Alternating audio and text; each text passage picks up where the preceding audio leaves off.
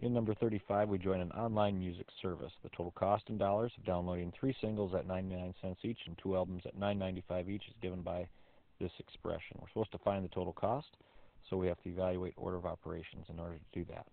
We've got multiplication here, and we've got multiplication here. So let's do our multiplication before we add. 3 times 99 cents, that's going to be $2.97.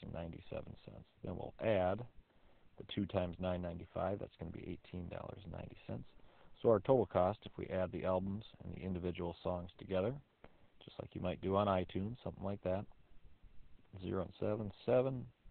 Here we have 18, carry the 1, 9 and 2 makes 11, carry the 1 makes $21.87 for our total cost in Part A. And we have $25 to spend, so how much will we have left? We'll take that $25 and we'll take away the $21.87 that we spent and we'll get 10, 7, 3, 9 and 8. We've got 13. We're looking at $3.13 remaining to spend on other stuff.